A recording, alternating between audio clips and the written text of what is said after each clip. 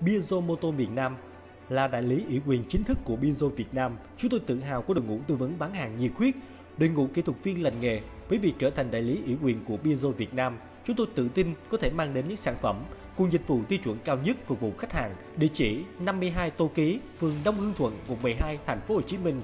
Hotline 0828 598 698.